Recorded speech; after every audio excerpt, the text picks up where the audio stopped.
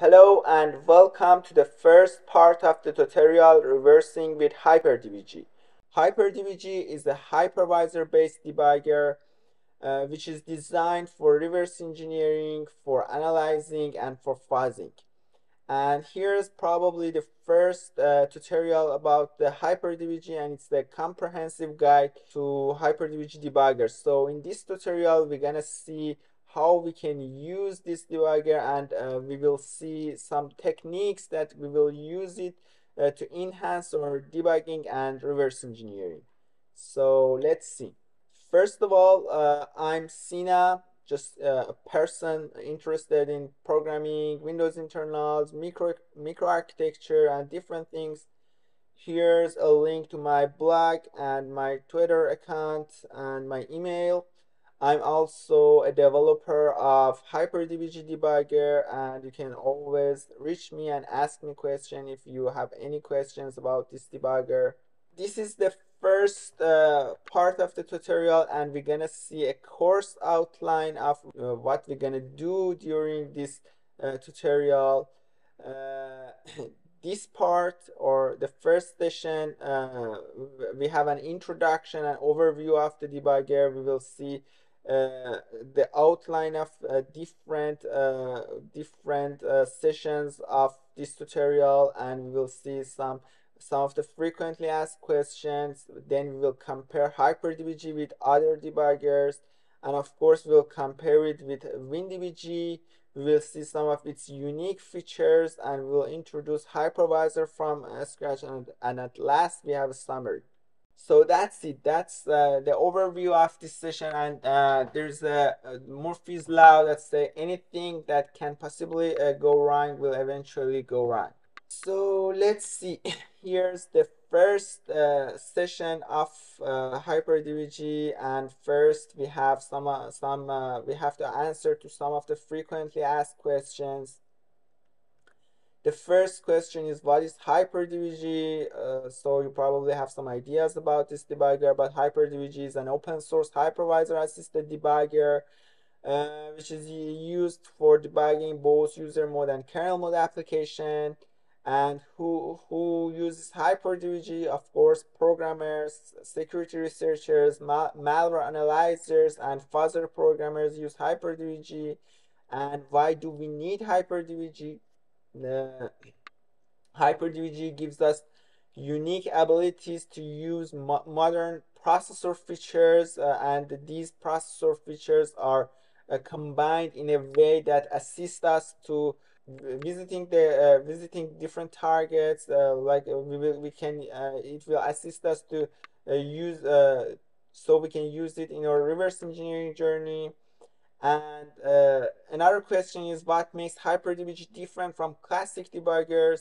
Uh, the thing is that HyperDBG has a completely unique uh, architecture and there are some uh, principles uh, in uh, designing HyperDBG. One of them is we want to have an OS independent debugger that wants to use some of the modern processor features to generate and to make some uh, new techniques for the reverse engineering. And uh, the thing is uh, these features are not available in any other debuggers. So HyperDBG is mainly designed for the reverse engineering. Uh, and the the in the the differences between HyperDBG and WinDBG uh, because uh, WinDBG is probably one of the things that is uh, may might be similar to the HyperDBG in some aspects, but uh, the differences between HyperDBG and uh, WinDBG is that uh, HyperDBG has a completely different architecture. WinDBG mainly operates on kernel mode or in ring 0, while HyperDBG running on ring minus 1 or hypervisor and HyperDBG provides uh, some of the unique features that are not available in, in OS level or in kernel mode. Uh, and besides that, uh, HyperDBG is of course not a simple uh, debugger. It, it, it, it uh, comes with a lot of methods uh, by using Intel VTX and modern processor facilities to ease the reverse engineering, analyzing, and fuzzing. Another question is, is it uh, only for a special processor or can I run it on AMD or, or, or ARM processor? The answer to this question is that the current version of HyperDBG only supports x64 processors of Intel. Uh, uh, in the current stage, uh, you cannot run HyperDBG on an AMD processor or an ARM processor, but uh, prob uh, future uh, versions will probably support other processors as well. And another thing is what generation of Intel processor supports HyperDBG? The answer uh, to this question is uh, that your processor should at least support Intel EPT, uh, which is introduced uh, on post uh, Nehalem uh, micro microarchitecture. so some of the functionalities only work on in on the fourth genera generation or later generation of Intel processors and the processor uh, and previous processor uh, uh, i mean older than the fourth generation might have some undefined behaviors with some of the functionalities uh, but generally it's recommended to use uh, an uh, sixth generation or later processor newer processor for running hyper-DBG. Uh, can I use it on Linux or Mac OS X? Uh, well, no, the current version of HyperDBG is only limited uh, to Windows 10 and Windows 11. Uh, but uh, uh, it, it's one of our top priorities that we want to port it on Linux, but it's currently only usable on Windows. it's all, it also supports Windows 11 as well. I just mentioned Windows 10 here, but it supports Windows 11 as well. And another question is, should I have a separate machine to use HyperDBG? And the answer to this question is, of course, not. Uh, you don't have to have, uh, you don't have to make some uh, other uh, separate machines. You can use your own machine uh, but the problem of not having a separate machine is that you can only operate on VMI uh, mode. Uh, I will explain about the VMI mode. Uh, but in VMI mode, uh, you can debug your own system like local debugging of WinDBG. And just like WinDBG, you cannot halt your system or you cannot break or step through the instructions in your own system but if you use some uh, virtualization uh, softwares like VMware Workstation, uh, you can also use these features. You can debug. Uh, you can debug uh, in the debugger mode. I will explain about the debugger mode later. And all of the features of HyperDBG are also available on whenever you want to debug, for example, a VMware Workstation machine. Uh, you can step through the instruction you can pause the target operating system all of them are available there another question is can i use it on a nested virtualization environment like vmware virtualbox or hyper-v? Uh, the current version of the hyper-v only tested on vmware uh, workstation. Uh, it, it, it uh, i think vmware player doesn't support nested virtualization. I, am not sure but uh, if it's not support uh, if it uh, won't support or not supporting uh, nested virtualization that Hyper-V cannot run it run on it but the, the future version probably in the future version will support all of the virtualization platforms for example will support hyper-v I'm not sure uh, about other uh, virtualization uh, platforms. It might work. You have to test it, but uh, HyperDBG is well tested on VMware Workstation and in, in a physical machine without any uh, nested virtualization environment. Uh, how can I start reading about HyperDBG internals? How does it work and can I contribute to the HyperDBG? Uh, HyperDBG is an open source project. Of course, like all the other projects, you can go and uh, contribute on GitHub. Uh, and the best source for this for learning the internals of HyperDBG is Hypervisor from scratch tutorial. You can search about this tutorial. And for the contribution, you can also follow the contribution guides in the GitHub page. Now let's compare HyperDBG with other debuggers. Uh, in, in the modern protected mode uh, plus paging enabled systems, there are seven protection rings in interclass souls. Uh, the first ring is uh, ring 3, uh, which is designed for user mode application. Uh, ring 2 and ring 1, which is not used, are previously designed for device drivers.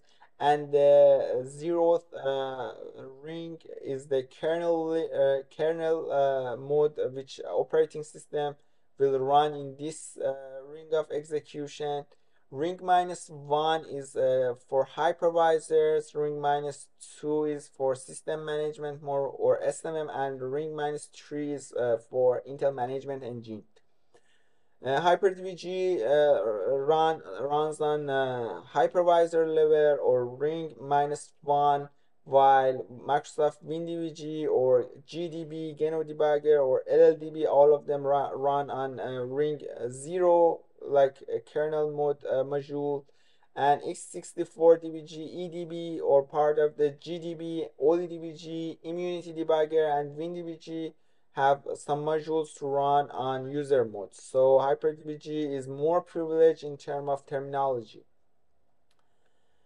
So let's see some of these debuggers. Uh, these are the kernel debugger family members. These uh, these are the debuggers that are able to uh, uh debug a kernel of the operating system. First, we have WinDBG, which has over 30 years of development and Windows is made by using WinDBG. WinDBG is not open source but its source code is leaked several times uh, behind the source code of the Windows. Then we have LLDB which is mostly used for OS X. Uh, uh, it's the um, OS X debugger uh, made by researchers and it's also open source. Uh, we have uh, GDB, uh, which is the main uh, kernel debugger for Linux, and it's also an open source debugger. And HyperDBG is the new family member to these native debuggers. So HyperDBG is more privileged in terms of rings in Intel processors. It has some unique features, which is mainly designed for the reverse engineering and it, it has an efficient and complicated design which is hidden by its nature and it uh, combines the academic innovation uh, with practical implementation and is of course open source and another uh, another note here is that uh, you can debug WinDBG or any other kernel debuggers with HyperDBG.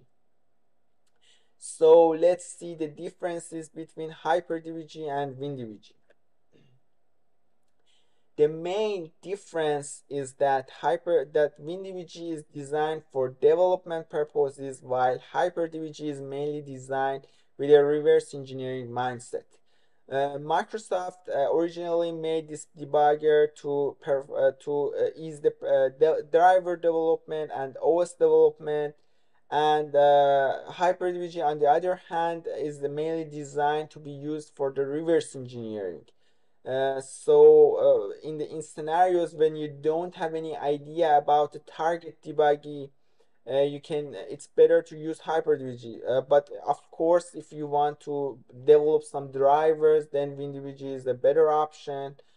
Uh, when you have source code of driver it's better to use WinDBG but if you want to understand the mechanism in, in, a, in an application when, when, when you don't have any access to the source code or you want to analyze a malware uh, uh, or analyze a closed source uh, application uh, or, or if the symbols of an application is partially available then HyperDBG gives you more features to explore uh, explore your debugging. Uh, HyperDBG is not a classic debugger. The intention of HyperDBG, uh, we, we, we're we don't, we uh, not gonna reinvent the wheel by uh, designing HyperDBG.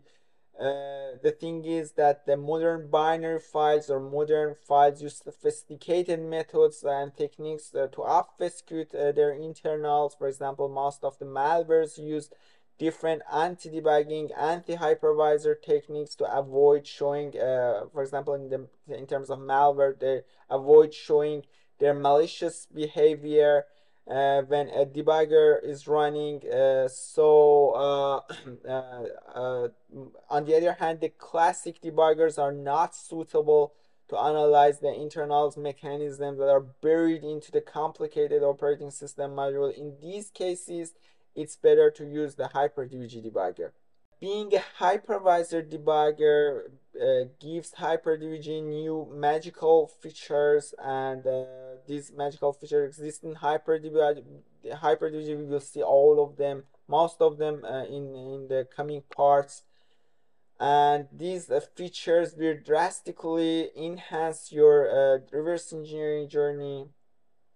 Uh, and HyperDBG is uh, more transparent by its nature. For example, uh, generally being only in hypervisor level makes HyperDBG more transparent than uh, WinDBG. And another thing is HyperDBG didn't use any debugging related API. So even the operating system itself doesn't have any idea that's being debugged by the HyperDBG and it's also not the only thing HyperDBG also hides uh, tries to hide itself uh, from some of the timing micro microarchitectural timing attacks uh, that reveals the uh, presence of hypervisor and transparency is always a priority for the is under active development uh, another difference between HyperDBG and WinDBG is that HyperDBG is a community-driven debugger which is open source and everyone could contribute to the to this project while uh, WinDBG is not open source.